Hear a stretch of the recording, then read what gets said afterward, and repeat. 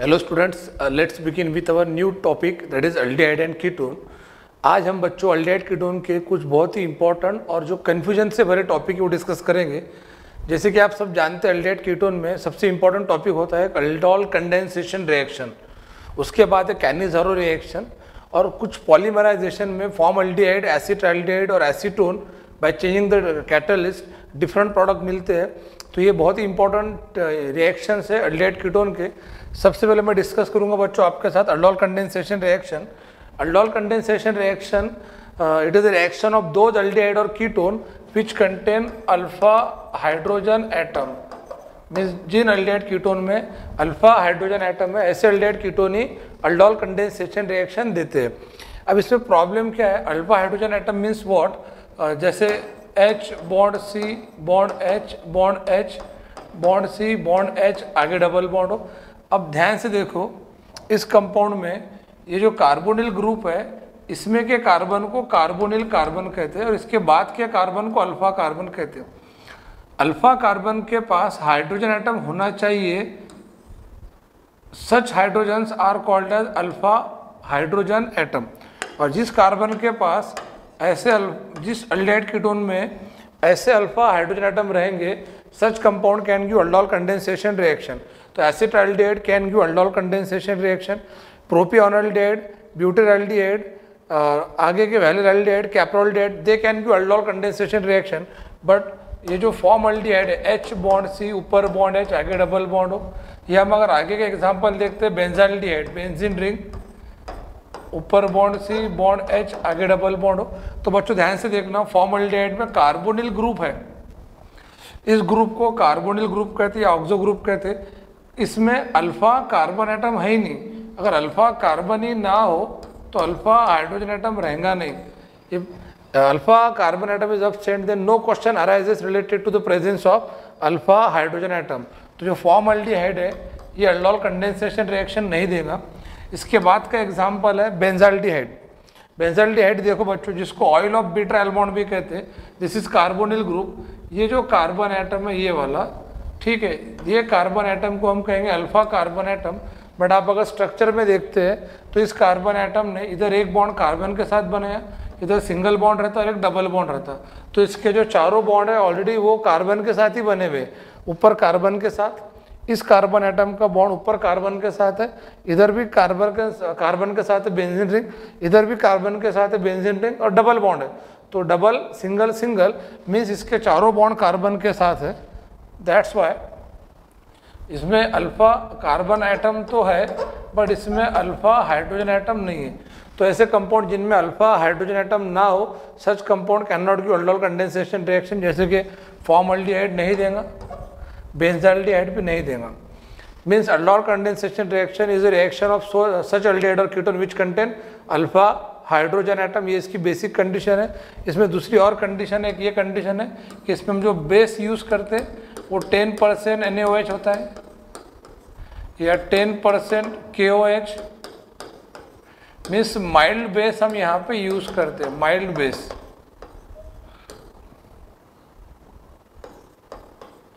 Mild base या weak base main point है कि एरो पर अगर वीक अल्कली दिया हो, या माइल्ड बेस दिया हो, या 10 परसेंट एन दिया हो तो समझ जाना बच्चों अल्डोल कंडेंसेशन रिएक्शन है।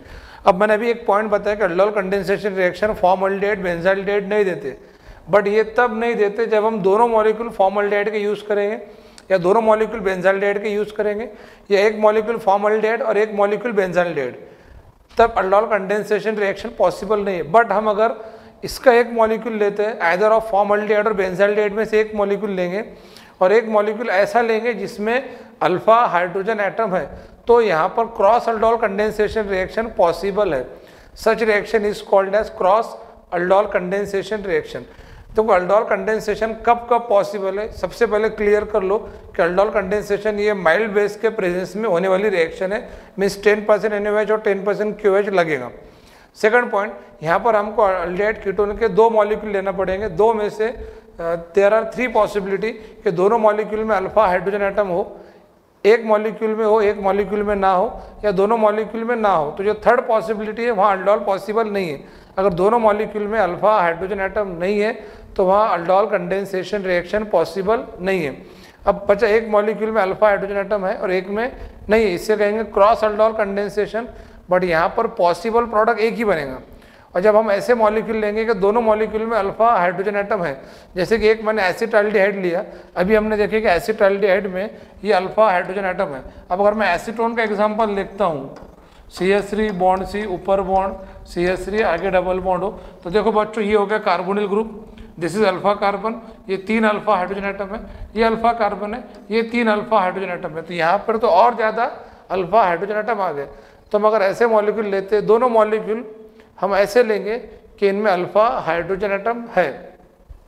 इसको कहते ऐसा क्रॉस अल्डोल कंडेंसेशन कि जिसमें टोटल पॉसिबल प्रोडक्ट बनते चार और ये नीट में क्वेश्चन पूछा जाता मीन्स अगर ऐसा क्वेश्चन आपको आता है कि आपने दो मॉलिक्यूल लिए, ऐसे कि दोनों में अल्फ़ा हाइड्रोजन एटम है तो टोटल कितने पॉसिबल प्रोडक्ट बनेंगे? तो there are total four possible product और अगर हमने एक मॉलिक्यूल लिए जिसमें अल्फ़ा हाइड्रोजन एटम है और एक मॉलिक्यूल लिए जिसमें अल्फ़ा हाइड्रोजन एटम नहीं है तो पॉसिबल प्रोडक्ट एक ही बनेगा अल्डोल पॉसिबल है। हाँ अगर हम ऐसे दोनों मॉलिक्यूल लेते हैं कि जिसमें अल्फ़ा हाइड्रोजन एटम दोनों में भी नहीं है तो ये होगा अल्डोल कंडेंसेशन होगा ही नहीं। मतलब that is not there is no possibility of aldol condensation reaction तो बच्चों, ये तो बेसिक के पॉइंट थे, इसलिए मैंने आपको थोड़ा स्पीड से बताया। अब हम एक एग्जांपल देखेंगे कि बेसिकली अल्डोल कंडेंसेशन होता कैसा है। इसमें एक बात ध्यान में रखना, अगर मैं एसिड ट्राल्डेट का एग्ज़ाम्पल देखता हूँ तो बच्चों, हम एसिड ट्राल्डेट का जो पहला मॉलिक्यूल है, उसको नॉर्मली लिखेंगे, और एसिड ट्राल्डेट का दूसरा मॉलिक्यूल है, इसमें वो कार्बन जो अल्फ़ा कार्बन इसका स्ट्रक्चर ड्रॉ करेंगे लाइक like दिस मैं आपको एक ही लाइन में इंटरमीडिएट और इसका डायरेक्ट फाइनल प्रोडक्ट समझा के दूँगा।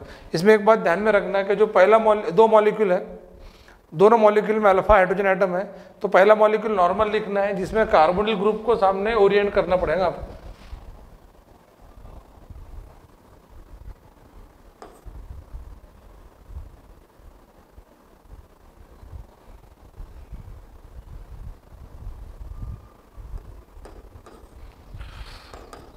ये आपका first molecule of acid acetaldehyde है, ये सेकंड मॉलिक्यूल ऑफ़ एसिटाल्डिहाइड है।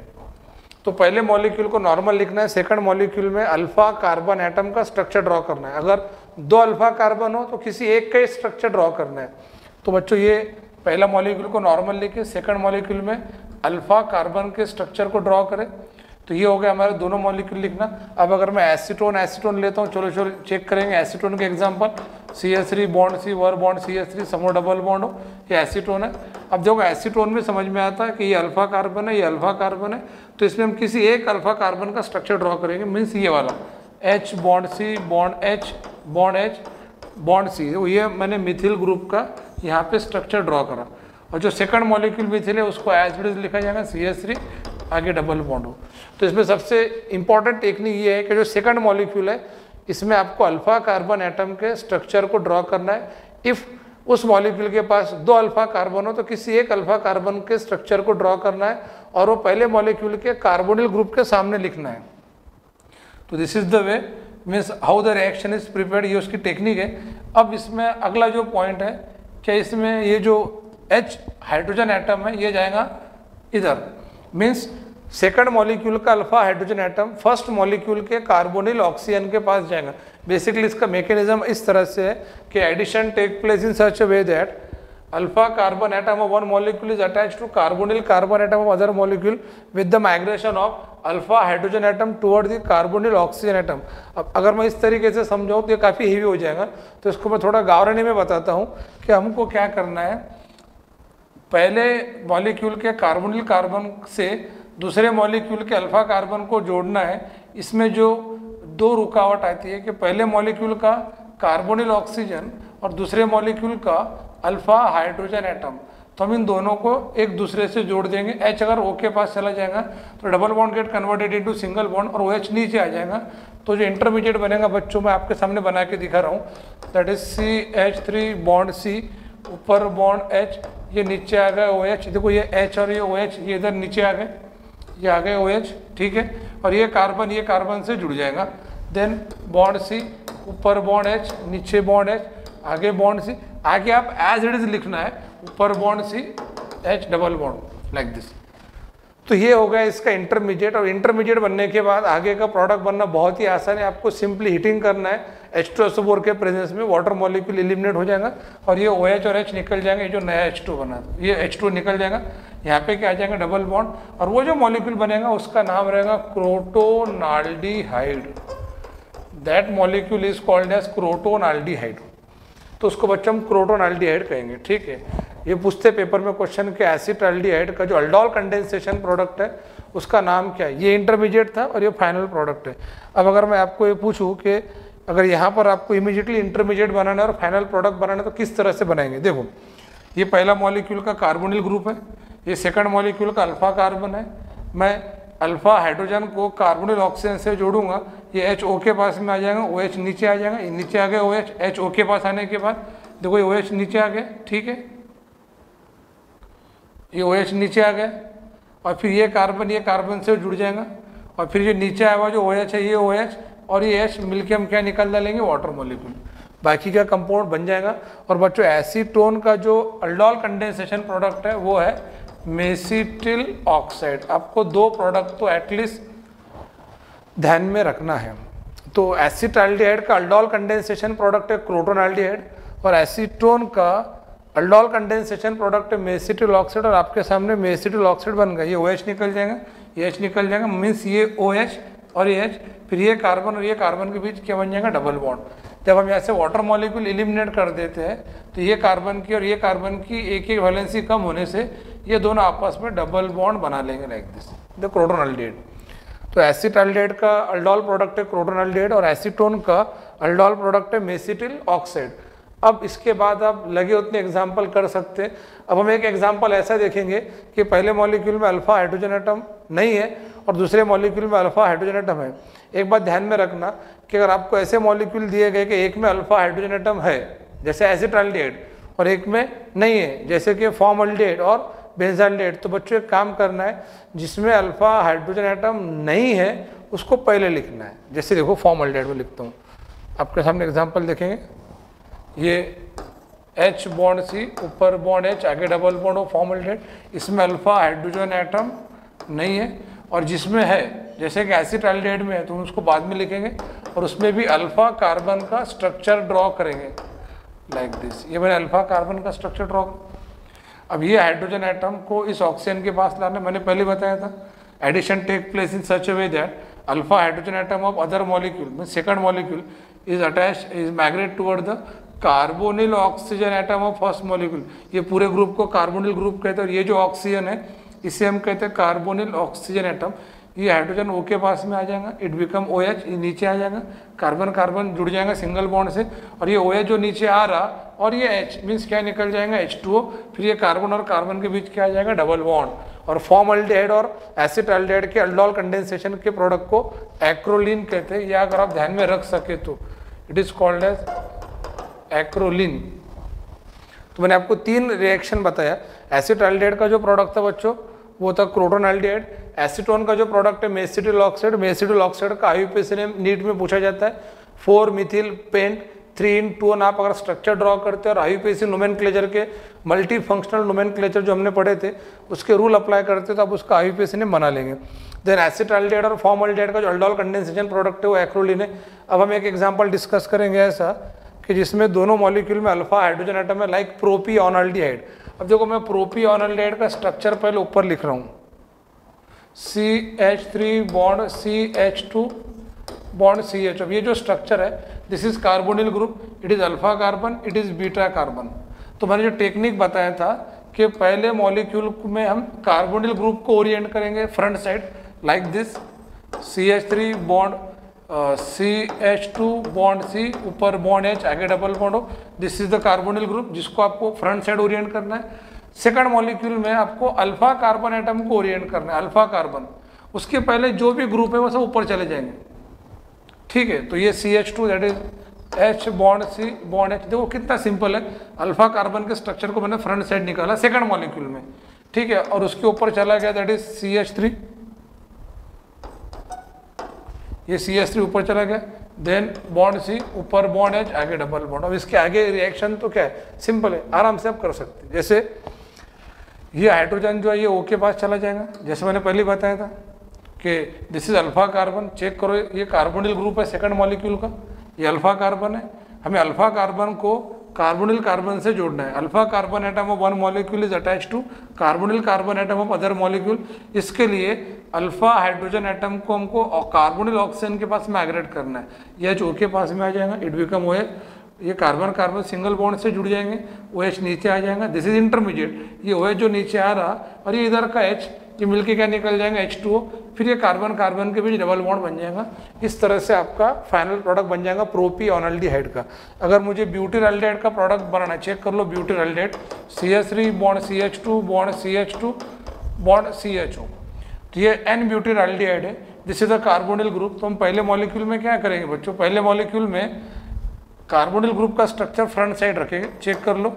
C H three bond C H two bond C H two bond C ऊपर बॉन्ड एच आगे डबल बॉन्ड इतना सिंपल ये पहला मॉलिक्यूल है।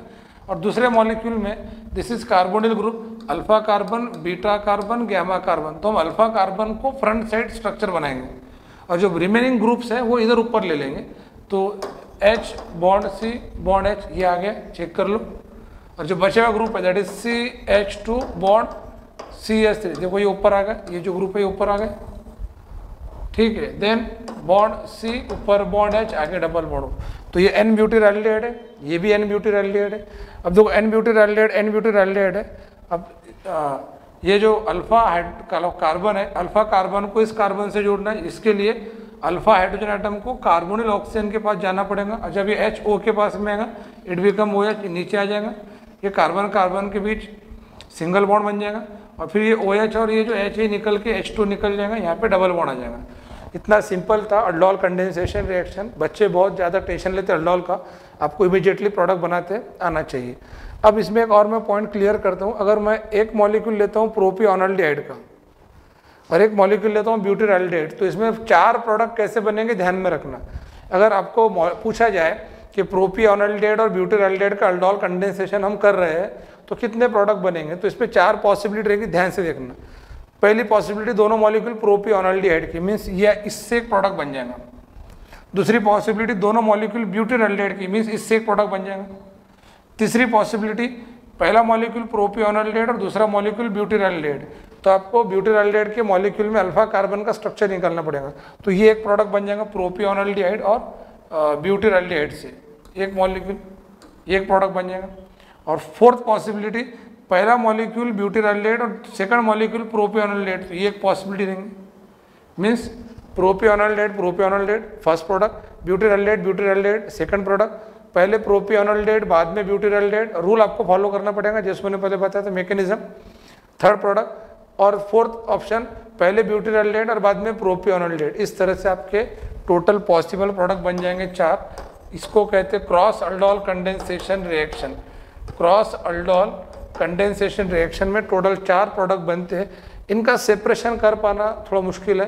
There separation is quite difficult but four molecule means four product बनते हैं cross aldol में। But इसके लिए कंडीशन ये है कि दोनों ऐसे मॉलिक्यूल चाहिए कि दोनों में अल्फ़ा हाइड्रोजन एटम हो। इसके बाद एक अगला मैं पॉइंट बताने जाऊँगा आपको कि अगर हम एक एलिफेटिक लेते हैं और एक एरोमेटिक लेते हैं। One is aliphatic other is aromatic तो इसको हम कहते हैं Claisen schematic reaction that is called Claisen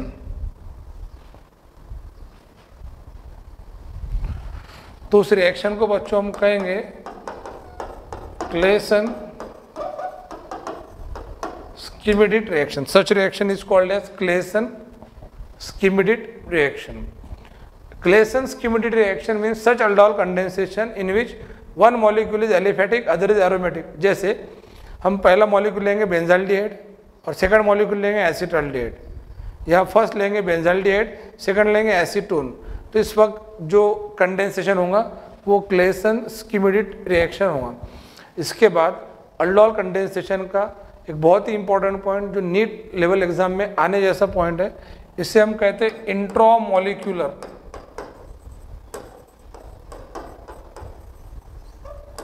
aldol condensation reaction बच्चों इंट्रामोलिकुलर अल्डोल कंडेंसेशन में क्या होता है?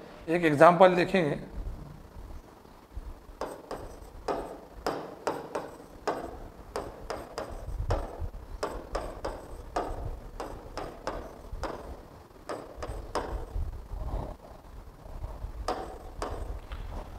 ये पूरा एक मॉलिक्यूल है मीन्स आपको ऐसा अल्डेड लेना है कि अल्डेड का ओवरऑल मॉलिक्यूल एक ही रहेगा but it contain two carbonyl group ध्यान से देखो, ये एक कार्बोनिल ग्रुप इधर आ गया सी एच ओ इसमें सी डबल बॉन्ड रहेगा, ये दूसरा मॉलिक्यूल आ गया सी एच ओ मीन्स हम ऐसे मॉलिक्यूल लेंगे कि जिसके एक ही मॉलिक्यूल में कार्बोनिल ग्रुप दो रहेंगे। अगर हम ऐसा मॉलिक्यूल जिसका, अगर मैं इसके नाम की बात करूँ तो one then two then three then four and five and six तो one six total carbon six hexane it is one six ये सी एच ओ में के कार्बन का नंबर वन सिक्स है.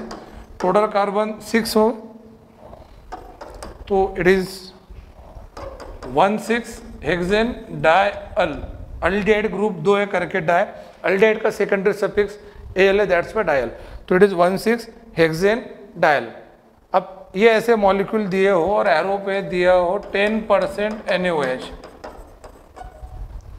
तो मतलब समझ जाना कि अल्डोल कंडेंसेशन रिएक्शन है। ऐसे सिचुएशन में क्या करना है? मैं डायरेक्ट आपको प्रोडक्ट बनाना सीखूँगा विदाउट मैकेनिज्म इसमें मैकेनिज्म फॉलो कर सकते बट ज़्यादा बेटर है कि आपको प्रोडक्ट बनाते आना चाहिए। मैं इसमें एक हिंट दूँगा सबसे बड़ी कि आपको टोटल कार्बन काउंट करना है including carbon of C H O group check कर लो टोटल कार्बन कितने, एक, दो, तीन, चार, पाँच छः तो हमें क्या करना है कि कार्बन छः है ना तो आपको एक कार्बन कम कर देना है मतलब बचे कितने कार्बन पाँच। पाँच कार्बन का एक साइक्लिक रिंग बनाना है। Cyclic ring. अब इसमें किसी भी एक कार्बन को आप C H O group attach कर लो। चलो मैं ये सी एच ओ यहाँ अटैच कर देता हूँ। ये बन गया सी एच ओ और जिस कार्बन को मैंने C H O group attach करा, वो कार्बन, उसके नेबरिंग कार्बन, चाहे इधर से, ये कार्बन का नेबरिंग कार्बन ये है, ये कार्बन का नेबरिंग कार्बन, ये दो नेबर है, किसी एक साइड से डबल बॉन्ड दे देना है। इसको कहते सिंगल स्ट्रोक में इंट्रामोलिकुलर अल्डोल कंडेंसेशन का प्रोडक्ट बनाना। इससे सिंपल और कुछ नहीं हो सकता। अगर मैं इसमें एक और सी एच टू बढ़ा देता हूँ यहीं अपने काम करेंगे। इसी में एक और सी एच टू बढ़ा देंगे। यहाँ बीच में एक, दो, तीन, चार, है ना? कहीं भी एक बढ़ा दो तो पाँच हो जाएँगे। और ये कॉर्नर के दो सी एच ओ अब कितने हो गए? मतलब टोटल कार्बन सात हो गए। तो इस इन दैट सिचुएशन हम सिक्स मेंबर रिंग बनाएँगे लाइक दिस किसी भी कार्बन को आप सी एच ओ जोड़ दो। चलो मैं ये कार्बन को सी एच ओ जोड़ देता हूँ। जिस कार्बन को हमने सी एच जोड़ा, वो उसके नेबरिंग कार्बन के साथ डबल बॉन्ड बनाएगा लाइक दिस तो बच्चों, इतना सिंपल था. इंट्रामोलिकुलर अल्डोल कंडेंसेशन रिएक्शन अब इसका जो आई पी सी नेम अगर आपको देना है तो ध्यान में रखना सी एच ओ हमने जिस कार्बन को जोड़ा है one then two three four five cyclopent because double bond है. वन इन और जब साइक्लिक रिंग को अल्डिहाइड ग्रुप जोड़ा जाता है तो इसका आई जो नेम है वो कार्बाल्डिहाइड पढ़ा जाता है। तो इसका आई नेम रहेगा साइक्लोपेंट वन इन कार्बाल्डिहाइड। इसका आई नेम रहेगा साइक्लोहेक्स सी एच ओ जिस कार्बन को अटैच है उसका number one then two three four five six cyclohex one ene carbaldehyde. Cyclohex one ene carbaldehyde, cyclopent one ene carbaldehyde तो इतना सिंपल था इनका आयुपेसी नेम तो बच्चों, ये थे इंट्रामोलिकुलर अल्डोल कंडेंसेशन रिएक्शन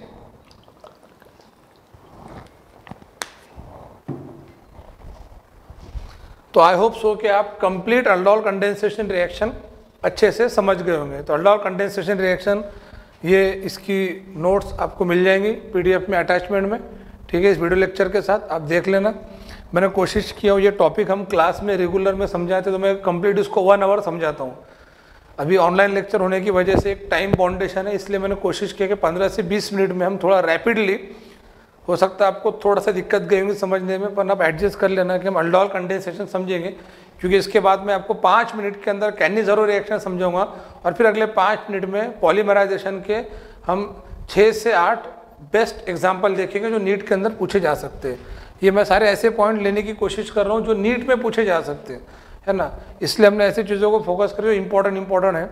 अब बच्चों, ये अल्डोल कंडेंसेशन रिएक्शन होने के बाद, ये लास्ट में ध्यान में रखना है आपको क्रोटोन एल्डेड एसिटाल्डेट का अल्डोल कंडेंसेशन प्रोडक्ट है और मेसिटिल ऑक्साइड ये एसीटोन का अल्डोल कंडेंसेशन प्रोडक्ट है। जैसे मैंने बताया ना कि एसिटाल्डिहाइड है और ये एसीटोन है। तो बच्चों एसिटाल्डेट एसीटोन में भी चार प्रोडक्ट बना सकते हैं। दोनों मॉलिक्यूल एसिटाल्डेट के, दोनों मॉलिक्यूल एसीटोन के। First acetaldehyde second acetone first acetone second acetaldehyde इस तरह से करके भी आप इनके टोटल चार, जो फोर डिफरेंट प्रोडक्ट है, वो बना सकते हैं। तो आई होप सो कि आप अच्छे तरीके से अल्डोल समझ गए होंगे। मैं नेक्स्ट रिएक्शन पर आता हूँ कैनिजरो रिएक्शन ये अल्डोल के एग्जैक्टली अपोजिट है। It is the reaction of दो अल्डेड और ketone which do not contain alpha hydrogen atom जिनके पास अल्फ़ा हाइड्रोजन एटम नहीं है, ऐसे मॉलिक्यूल कैंडिजरो रिएक्शन देते हैं। बेस्ट एग्जांपल हम देखेंगे, जैसे कि फॉर्मल्डिहाइड है। हम यहाँ पर आपको दोनों मॉलिक्यूल फॉर्मल्डिहाइड के लेना पड़ेंगे। साथ में ये रिएक्शन जो होती है, ये स्ट्रॉन्ग अल्कली के साथ होती है means it is reaction with 50 percent N और ये हाइड्राइड शिफ्ट पर आधारित रिएक्शन है। ये ध्यान में रखना। इसके अलावा कैनिजरो रिएक्शन में जो पहला मॉलिक्यूल फॉर्म है, दूसरा मॉलिक्यूल फॉर्म है, एक ऑक्सीडाइज होगा और एक रिड्यूस होगा। जो ऑक्सीडाइज होता, वो एसिड बनाता एसिड एनएच के साथ मिलके सॉल्ट बनाता और जो रिड्यूस होगा, वो अल्कोहल बनाएगा। इट फॉर्म अल्कोहल अब ये तो आपको पता होगा कि अल्डिहाइड जब ऑक्सीडाइज होगा तो एसिड बनता। एसिड बेस के साथ मिलके सॉल्ट बनाएगा। और दूसरा मॉलिक्यूल रिड्यूस होगा। ये oxidises to acid and it reduces to alcohol और जब एक ही मॉलिक्यूल में ऑक्सीडेशन और रिडक्शन दोनों प्रोसेस होते हैं, इसको हम रिडॉक्स रिएक्शन टिपिकल टाइप का कहते हैं, जिसको सेल्फ रिडॉक्स कहेंगे, जिसी का दूसरा नाम है डिसप्रपोर्शनेशन रिएक्शन तो कैनिजरो रिएक्शन ये एक तरह से डिसप्रपोर्शनेशन रिएक्शन है. तो कैनिजरो रिएक्शन ये एक तरह से डिस प्रोपोर्शनेशन रिएक्शन है. कैनिजरो ये एक तरह से सेल्फ रिडॉक्स रिएक्शन है. Such self-redox reaction is called as disproportionation reaction. It is based on the mechanism of hydride shift. इसमें बच्चों हाइड्राइड शिफ्ट होता है। ये भी क्वेश्चन पूछते पेपर में कि कैनी ज़रूर रिएक्शन में मतलब हाइड्राइड शिफ्ट कौन से रिएक्शन में होता है? तो हाइड्राइड शिफ्ट नीचे चार नाम दिए रहेंगे। तो हाइड्राइड शिफ्ट कैनी ज़रूर में होता है। अब अगर हम बात करते हैं, दोनों मॉलिक्यूल फॉर्म अल्डेड लिए हमने। तो एक ऑक्सीडाइज होके फॉर्म अल्डेड से कौन सा एसिड बनेगा? फॉर्मिक एसिड एसिड से कौन सा सॉल्ट बनेगा? सोडियम फॉर्मेट तो बच्चों, इससे बन जाएगा सोडियम फॉर्मेट। दूसरा जो मॉलिक्यूल है फॉर्म अल्डिहाइड का, इसमें कार्बन एक है। जैसे कार्बन एक वाले अल्डिहाइड से कार्बन एक वाला एसिड बना था तो कार्बन एक वाले फॉर्म से एक वाला अल्कोहल बनेगा, कार्बन एक वाला अल्कोहल जो अल्कोहल है, मिथिल अल्कोहल है। सी एच थ्री एच तो one molecule of formaldehyde oxidises to formic acid and formic acid then combined with NaOH and it form its salt, that is sodium formate. Other molecule of formaldehyde reduces to alcohol that is methyl alcohol तो बच्चों formaldehyde का जो end product है वह sodium formate methyl alcohol अब example पर से clear होता है। फॉर्मल्डिहाइड फॉर्मल्डिहाइड लिए सोडियम फॉर्मेट मिथिल अल्कोहल अगर मैं बेंजाल्डिहाइड बेंजाल्डिहाइड लूँगा जो सेकंड एग्ज़ाम्पल इसका है। That is C six H five bond C H O और again C six H five bond C H O and then fifty percent N H strong alkali strong base लगता है। तो एक molecule benzaldehyde से benzoic acid बनेगा benzoic acid से sodium benzoate बनेगा।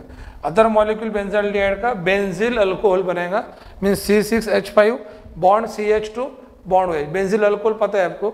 C six H five bond wedge phenol है। C six H five bond C H two bond wedge ये बेंजिल अल्कोहल है।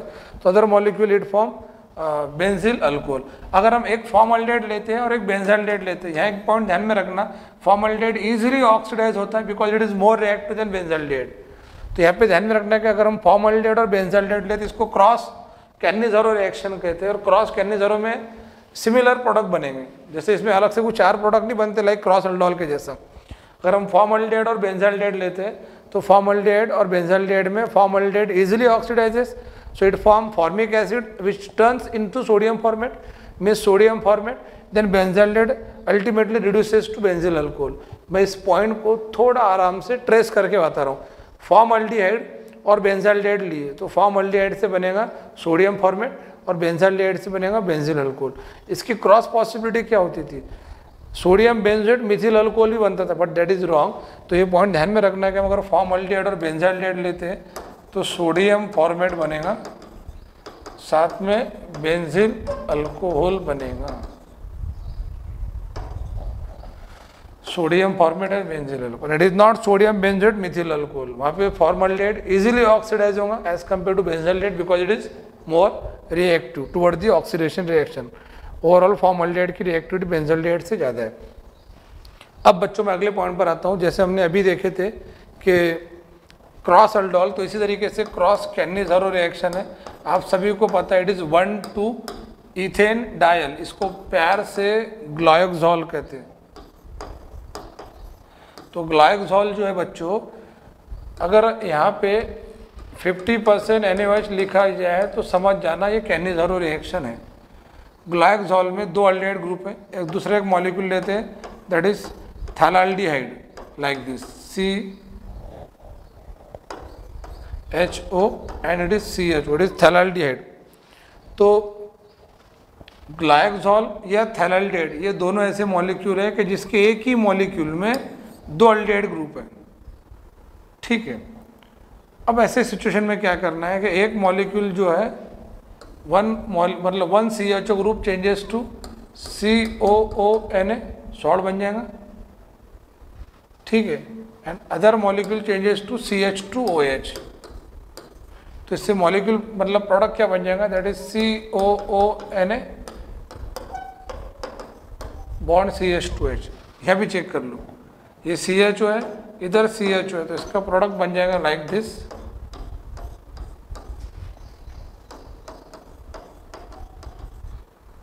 C O O N A पहले ये C O H बनेगा means aldehyde oxidise to acid group then combined with N A O H तो that's why C O N and aldehyde group reduces to alcohol that is C H two bond O H इसको cross Cannizzaro reaction कहते इतना important नहीं है, पर ध्यान में रखना है इसको प्रिपेयर कर लेना।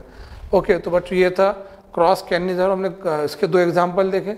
और कैनी जरो के ओवरऑल तीन ही एग्ज़ाम्पल है फॉर्मल्डेट फॉर्मल्डेट तो sodium formate methyl alcohol benzaldehyde benzaldehyde तो sodium benzoate benzyl alcohol formaldehyde benzaldehyde तो सोडियम फॉर्मेट बेंजिल अल्कोहल वहाँ पे फॉर्मल्डेट से एसिड बनेगा और बेंजाल्डेट से बेंजिल अल्कोहल बनेगा। तो this is all about cross Cannizzaro reaction and as well as Cannizzaro reaction Cannizzaro ज़रूर रिएक्शन की शुरुआत के पॉइंट तो ये सेल्फ रिडॉक्स है, यानी कि डिसप्रपोर्शनेशन रिएक्शन है। It is based on hydride shift इसमें हाइड्राइड शिफ्ट होता है। हाइड्राइड मीन्स आपको पता है that is H negative hydride कहते हैं। अब हम आगे चलते हैं नेक्स्ट पॉइंट पे। अब बच्चों, मैं आपको आगे जो पॉइंट बताने जा रहा हूँ, ये थेरोटिकल पॉइंट है, इसमें रिएक्शन नहीं है। हम कुछ स्ट्रक्चर डिस्क्राइब करेंगे। जैसे कि फॉर्मल्डिहाइड के तीन मॉलिक्यूल से कौन सा मॉलिक्यूल बनेगा। अब ऐसा मॉलिक्यूल जो तीन मॉलिक्यूल से बनता है, उसको ट्राइमर कहते हैं। ऐसा मॉलिक्यूल जो चार मॉलिक्यूल से बनता है, उसको टेट्रामर कहते हैं। ऐसा मॉलिक्यूल जो मेनी मॉलिक्यूल से बनता हो नंबर ऑफ़ मॉलिक्यूल से दैट इज़ कॉल्ड पॉलीमर तो बच्चों फॉर्मल्डिहाइड पे दो क्वेश्चन आते हैं एसिटल्डिहाइड पे दो क्वेश्चन आते हैं और एसिटोन पे दो क्वेश्चन आते हैं। तो टोटली सिक्स क्वेश्चन हो गए। इसमें हम कुछ मॉलिक्यूल के डिफरेंट भी नेम्स है और कुछ स्ट्रक्चर पे अगर कंबाइन करते तो इस पर दस पंद्रह क्वेश्चन बन सकते जिसमें से एक आधा क्वेश्चन पूछने की संभावना होती है नीट वगैरह में। ठीक है तो बच्चों, पहले पॉइंट पर आता हूँ मैं। अगर मैं फॉर्मल्डिहाइड के तीन मॉलिक्यूल लूँ तो जो मॉलिक्यूल बनेगा उसे कहते हैं मेटा फॉर्मल्डिहाइड मेटा फॉर्मल्डिहाइड का दूसरा नाम ट्राईऑक्सेन भी ध्यान में रखना it is important point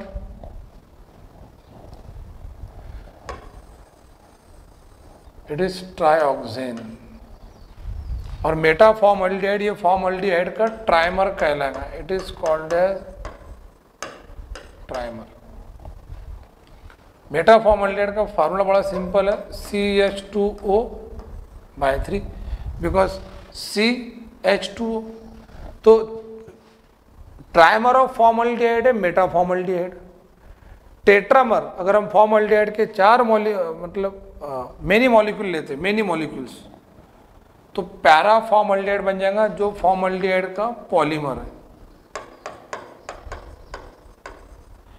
तो पैरा मीन्स पॉलीमर मेटा फिर ट्राइमर दो फॉर्मल्डिहाइड के दो प्रोडक्ट एक ट्राइमर है, एक पॉलीमर है. तो पॉलीमर का पी और पैरा फॉर्मल्डिहाइड का पी और दोनों में फॉर्मल्डिहाइड लग रहा है.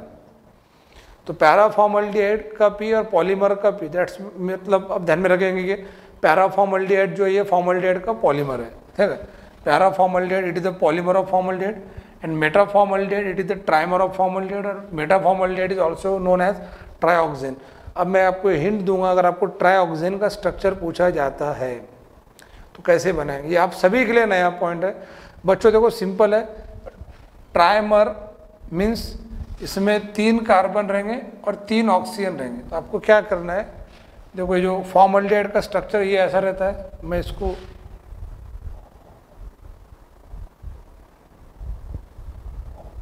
this is the structure of formaldehyde यहाँ बनाएँगे हम।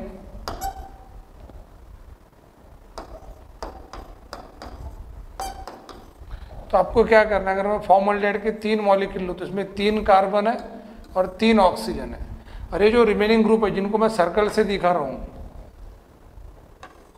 इन पर ध्यान मत दो भी थोड़ी देर के लिए ध्यान मत दो। आपको सिर्फ़ ये देखना है कार्बोनिल ग्रुप में कितने कार्बन है, कितने ऑक्सीजन है।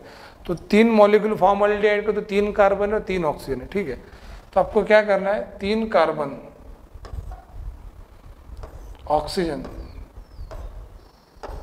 carbon oxygen carbon oxygen like जोड़ना है। अगर चार है मीन्स आपको कार्बन ऑक्सीजन को अल्टरनेटली जोड़ देना है। अगर वो तीन है, तीन कार्बन और तीन ऑक्सीजन तो हेक्सागोन के फॉर्म में जोड़ देना है। ठीक है।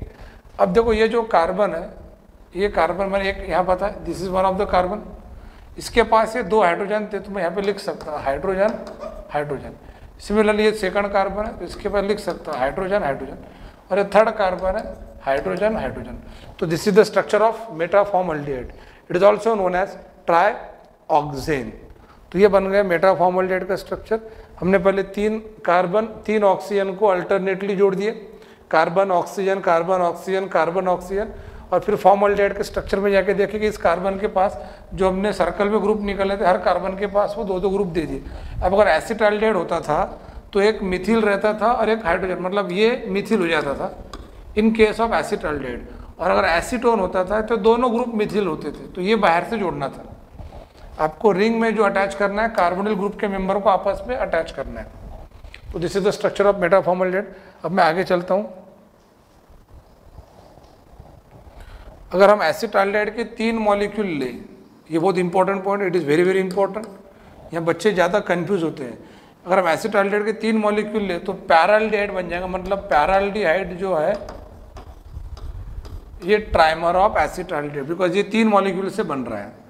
और एसिटाल्डेट के हम चार मॉलिक्यूल लेते हैं तो मेटा ये टेट्राल्डिहाइड है।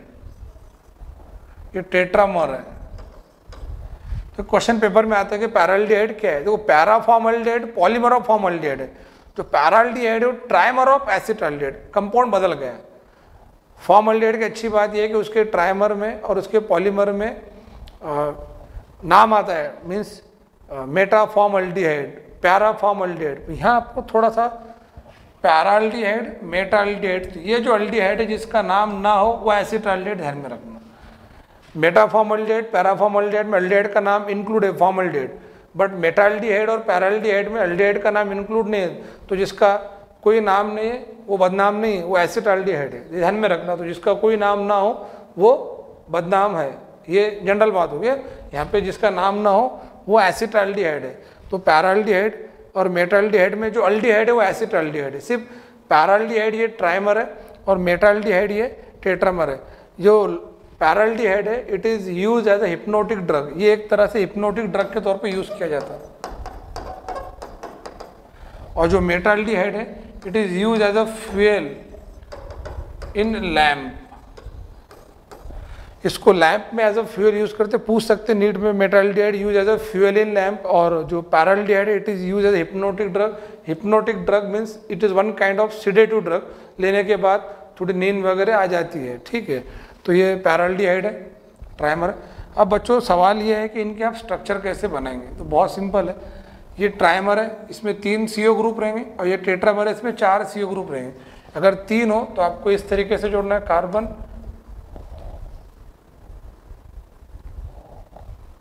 bond oxygen, bond carbon, bond oxygen, bond carbon, bond oxygen, bond carbon. देखो, एक, दो, तीन कार्बन, तीन ऑक्सीजन। अब इसके जो दो बॉन्ड बचे हुए हैं, यहाँ पर आपको एसिड एल्डेड में क्या होता है? एक तरफ़ सी एस थ्री एक तरफ़ हाइड्रोजन। तो यहाँ अटैच करना है सी एस थ्री इधर अटैच करना है हाइड्रोजन। इधर अटैच करना है सी एस थ्री इधर अटैच करना है hydrogen. Here C S three and hydrogen तो this is the structure of paraldehyde which is use as a hypnotic drug तो ये स्ट्रक्चर बन जाएगा पैराल्डीहाइड का, ये बन गया आपके सामने स्ट्रक्चर अब अगर मैं बात करता हूँ मेटाल्डीहाइड की जो मेटाल्डीहाइड टेट्रामर है। Para meta meta tetra para meta meta tetra ध्यान में रखना, ठीक है? तो जो मेटाल्डीहाइड है टेट्रामर है तो टेट्रामर में एसिटाल्डीहाइड के चार मॉलिक्यूल रहेंगे। तो चार कार्बन चार ऑक्सीजन रहेंगे कार्बोनिल ग्रुप के तो उसमें क्या करना है? C bond O bond C bond O, bond C.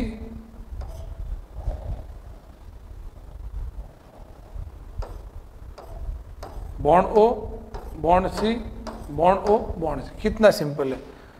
Just आपको एक स्क्वायर बनाना है जिसके चारों कॉर्नर कार्बन रहेंगे और दो कार्बन के बीच ऑक्सीजन। इतना सिंपल। देखो, ध्यान में रखना।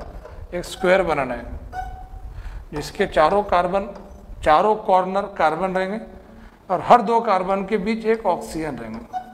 So simple this is metaldehyde ठीक है? एक तो पैराल्डिहाइड और मेटल अब इसमें ये जो कार्बन एटम है, इसके जो दो बॉन्ड है it here C S three hydrogen इधर.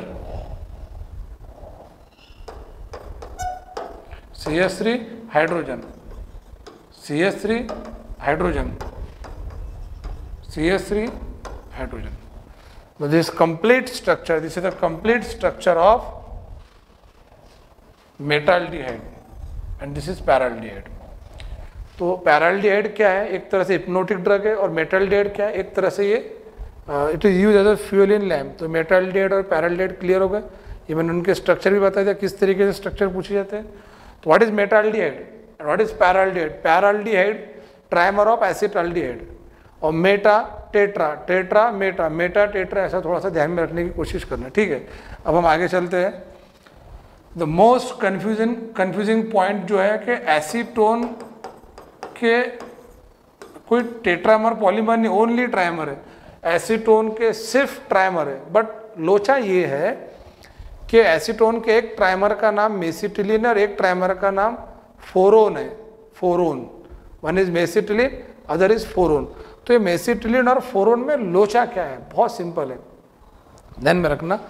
इसमें जनरली ये पॉइंट बच्चों ध्यान में रहता है कि एसीटोन का एक ट्राइमर जो है वो कॉन्सेंट्रेट एस के प्रेजेंस में बनाया जाता और एक ट्राइमर जो है कॉन्सेंट्रेट एच के प्रेजेंस में। मीन्स यहाँ पे मेडियम बदल रहा।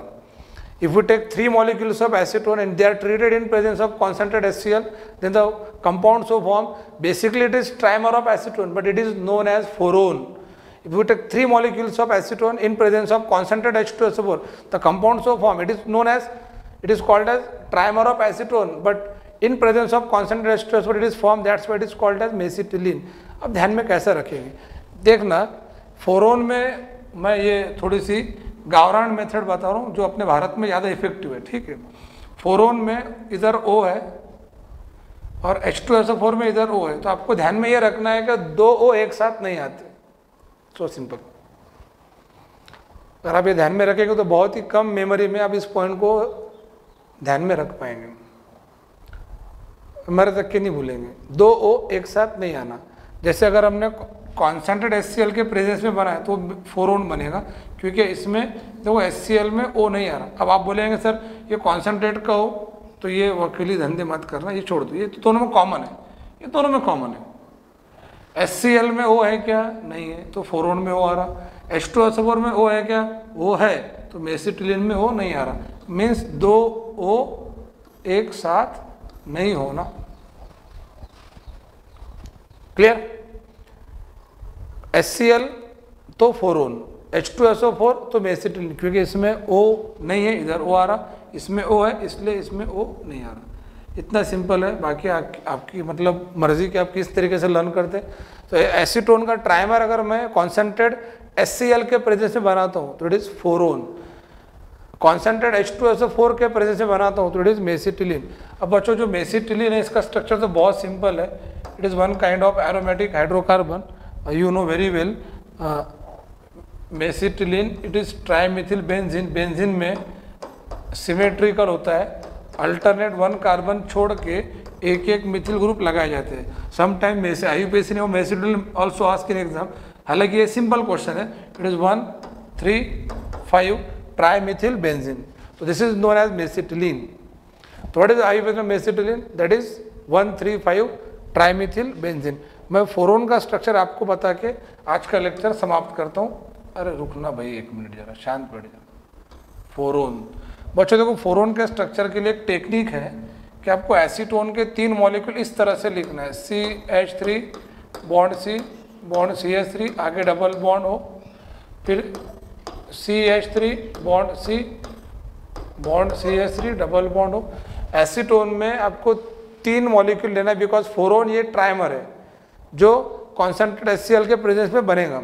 तो आपको करना ये कि एसीटोन का पहला और तीसरा मॉलिक्यूल का जो कार्बोनिल ऑक्सीजन है, वो लाइन में लेना है। और जो सेकंड मॉलिक्यूल है, उसका जो ऑक्सीजन है, वो वर्टिकल लेना है। ये दोनों को हॉरिजॉन्टल लेना है, आड़ा, उसको खड़ा लेना है। लाइक like दिस ये फ़र्स्ट ये O double bond C bond C S three bond C S three तो बच्चों, ये हो गए एसीटोन के तीन molecule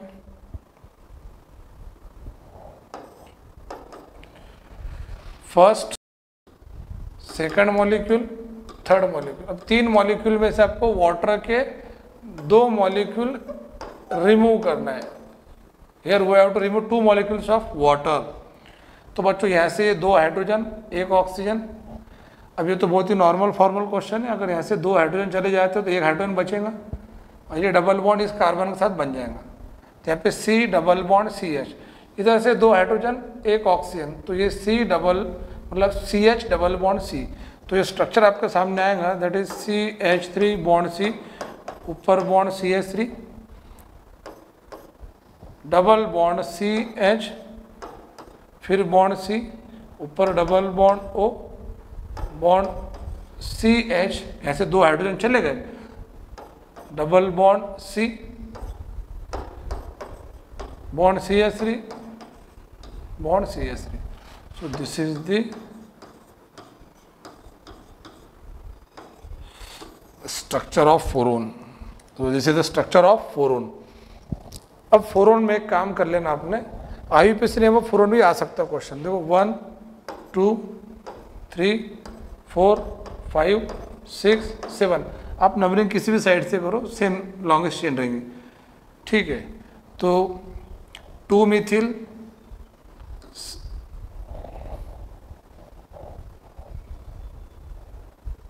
one two three four five six चलो सेवन इसको दे देंगे। एक ही बात थी two methyl six methyl two six dimethyl two five diene four own. Simple है। आप ऐसे पढ़ सकते two six dimethyl, four oxo, hept, two five diene, because दो और पाँच नंबर के कार्बन ने डबल बॉन्ड बनाया है। तो जैसे तो आई पे सिनेमा फोरोन आप कंफर्टेबली सॉल्व कर लेंगे। तो फोरोन का स्ट्रक्चर कैसे बनेगा? एसिटोन के तीन मॉलिक्यूल लेना है। फ़र्स्ट मॉलिक्यूल और थर्ड मॉलिक्यूल के ऑक्सीजन को एक दूसरे के तरफ़ मुँह दिखाते बनाना है। देखो, ये पहला मॉलिक्यूल का ऑक्सीजन और तीसरे का ऑक्सीजन, ये एक दूसरे को मुँह दिखा रहे हैं, मुँह चिढ़ा रहे हैं, ठीक है? और जो सेकंड मॉलिक्यूल है, इसका जो ऑक्सीजन है, वो वर्टिकल, वो अलग बेचारा, इन दोनों के बीच में नहीं पड़ रहा हूँ, ये ऊपर चला गया। आप एसीटोन के मॉलिक्यूल अगर इस तरह से लिखेंगे तो सब जाके फोरोन का स्ट्रक्चर बनेगा और इसके आगे एक पॉइंट ध्यान में रखना है कि दो वाटर मॉलिक्यूल रिमूव करना है। सो so, स्टूडेंट्स ये मैंने बहुत ईमानदारी से कोशिश करा।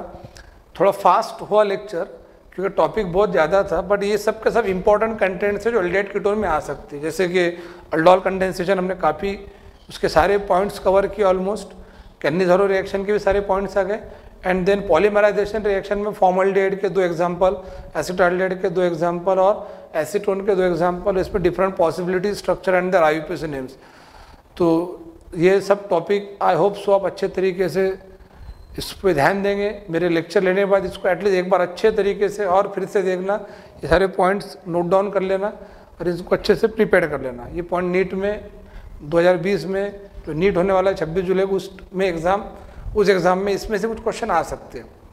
So students remaining topic we will continue by our next lecture till then अपना ख्याल रखिए। Bye bye